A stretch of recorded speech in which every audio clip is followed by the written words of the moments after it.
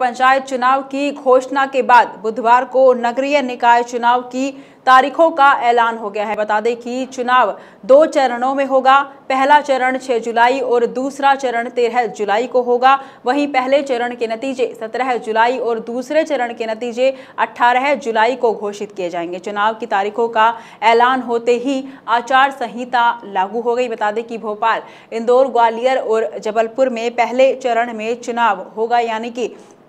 यहां 6 जुलाई को वोटिंग होगी राज्य निर्वाचन आयोग आयुक्त बीपी सिंह ने बुधवार को प्रेस कॉन्फ्रेंस में ये जानकारी दी है उन्होंने कहा है कि कुल तीन निकायों में चुनाव होंगे पहले चरण में एक और दूसरे चरण में दो निकायों पर वोटिंग होगी प्रदेश में उन्नीस मतदान केंद्र बनाए गए हैं मतदान के लिए सत्तासी